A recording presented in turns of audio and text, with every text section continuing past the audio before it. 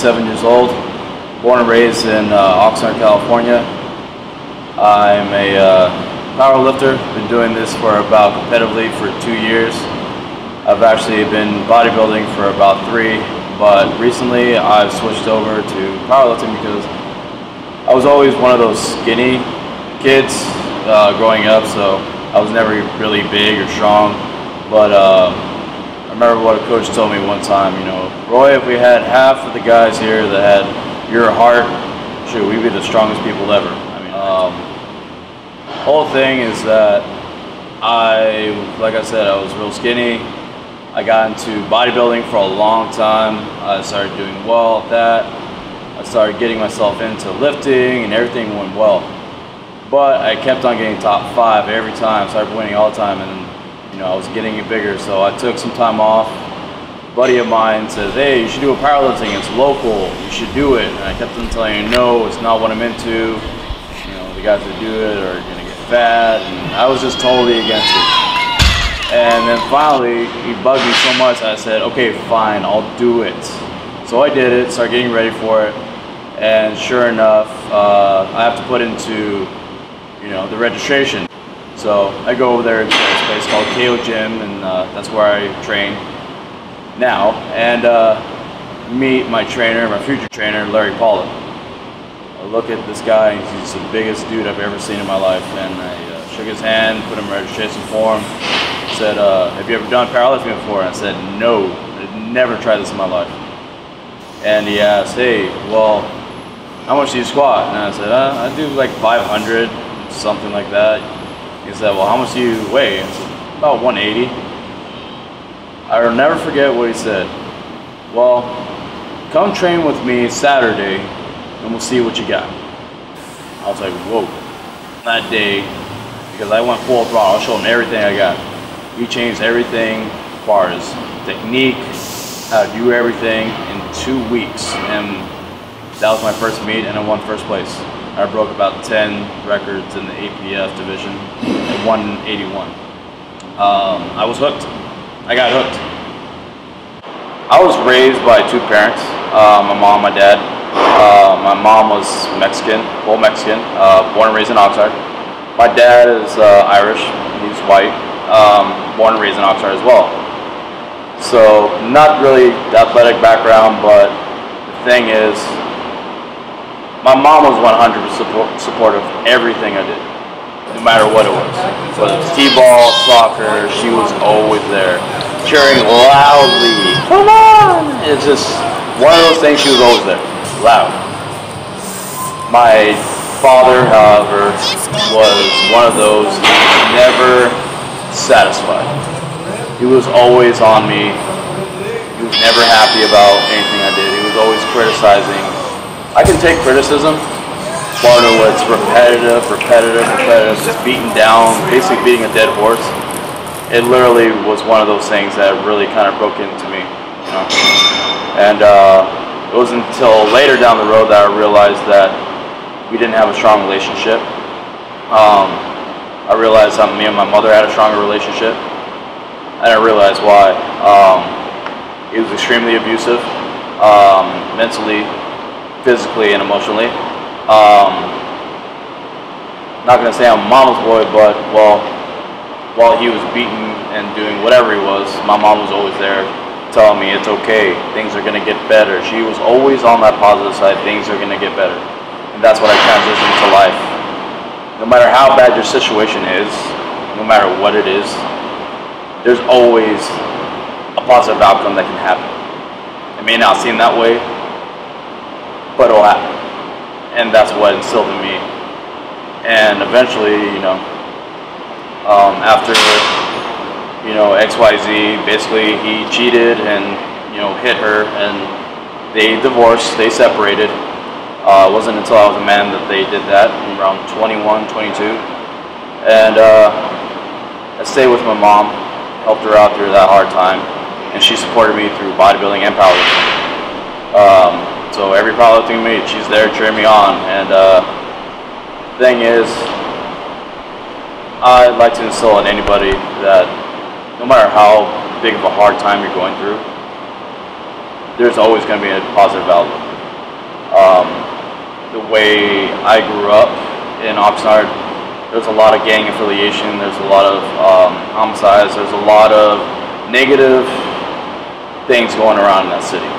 And the thing is, it's very easy to get caught up in, you know, working a regular nine to five or, you know, people telling you you're not good enough or you're not smart enough, or you're not fast enough.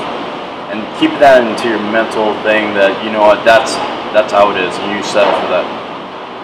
Um, but through all that, through all that pain and suffering that I went through as a kid, all the way to an adult, I kept hearing this voice: "It's gonna get better. It's gonna get better. It's gonna get better." And that voice, literally, was my mother. She kept on saying, "One day is gonna be your day. One day is gonna be your day. Just wait." and sure enough, um, it's it's happening, and I still can't believe that it's happening. Um, I fell in love with the sport, and I I can't be more appreciative of what's going on right now. Um, I like to say to anyone that's feeling like this, that is in this position where they're in a negative situation, don't give up. That's the last thing you want to do is give up. Um, you give up on that, you give up on life. You're not dead yet, so keep fighting. Now, with the gym, I got involved with this gym per se because it wasn't like everybody else's gym.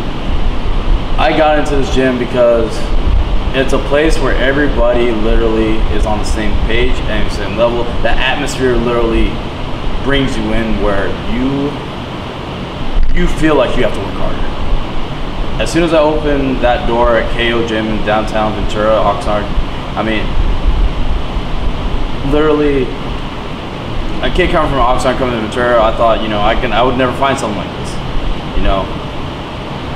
As soon as I walked into those doors in downtown Ventura and opened up, and I saw Larry and he opened his doors to me, I felt like I needed to work harder. It's true what they say: an environment can change a person I literally worked harder in this gym. I've sweated more in this gym. I even bled more in this gym. And Larry Pollock has got to be one of the best trainers, best coaches, best mentors, and even friend that I've ever met. Anybody who's ever talked to him could say the same thing. He's been doing this for 30 plus years, and it shows. And I will keep acknowledging him to this day because he literally took what was missing in my life, and that was a positive male role model. And he'll never know this to this day, but I really appreciate him every day for what he did. And uh, hey, if you're willing to actually try a different gym and see what this place is all about, come down here, Ventura, California. You'll see it right there in Oak and Main. It's right on. It may not look like much, but once you walk into this place, it changes you it changed me, uh, changed my life, and it turned to be the best decision I've ever made. I've only competed about maybe mm, seven, seven meets, and um, there's three of them that mean the most to me. Uh, the first one has got to be my first one uh, that was given to me, uh, and uh, I won first place in my first meet ever. So this is the one. that, I mean, it may not look like much to most you know, a little ribbon and has a little powerlifting plate. But this one meant a lot to me uh, because the first time I worked hard for something and a positive outcome came after it. And I take this with me everywhere I go, every meet I go, because it gives me some kind of luck or some kind of grounding that, hey, this is where you started. Don't let it get to your head. So uh, it's gotta be my favorite. Second one has to be my first pro meet, and that was one that is still surreal to me because I literally remember 2015.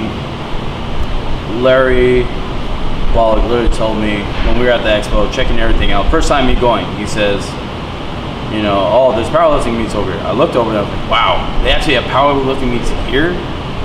I looked at that stage and I was just like, I want to be there. He literally took one glance at me and says, give me one year and I promise I'll get you here. And uh, sure enough, one year later, uh, still surreal to me today.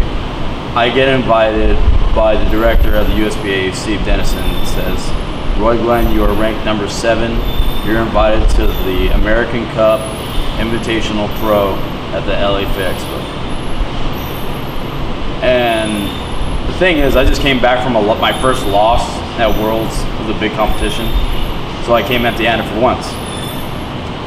So I had a lot to prove. It was my first meet of 2016. I had a lot to prove. I was so mad at myself for losing, but I came back. I had fun with this one. It was the first time I had fun with any meet. It wasn't worried about winning or losing or records or no record. It didn't matter. What mattered was I wanted to redeem myself and say, hey, I finished the meet. I did well. Larry trained with me really day and night and I went against a pro that's been doing this longer than I have. It was only my first year completing it. And I carry this one really dear to my heart because it's my first pro one that I actually won. Now, on to the last and final one. This one, uh, still trying to hit me right now because I just I just won this one. I had a lot going on through this meeting. My mom just lost her job as a nurse and she's still trying to fight with the union. Me and my girlfriend went through ups and downs. My grandfather was getting really sick. Uh, I really worked hard for this one. A lot of people saw it. I worked really hard. And I thought it couldn't get any worse, but it turns out that my coach, uh, Larry Pollock, actually got sick. He got pneumonia, really bad pneumonia, and some other stuff that they had to check out. He couldn't make it to Vegas with me. So literally, I was going into the biggest competition so far with my rock, my my my, my coach, not there. But he told me everything was gonna be all right. It was gonna work out. Stick to the plan. So I stuck to the plan. Thankfully, I had my grandmother, my mother, and my girlfriend by my side to, you know, support me and be there with me. I was still. I'm not. I'm not even gonna lie to you. I felt scared. I was scared because this is the first time I'm going to meet without my coach. I got to Vegas and the biggest welcome from every powerlifter I've known shocked me. We're talking guys I've met on folks social media, Instagram, uh, Casey Mitchell, um, Dan and Stephanie Steffens, um, Steve Dennis. Everybody literally said, "Good luck. We've been waiting to watch you lift."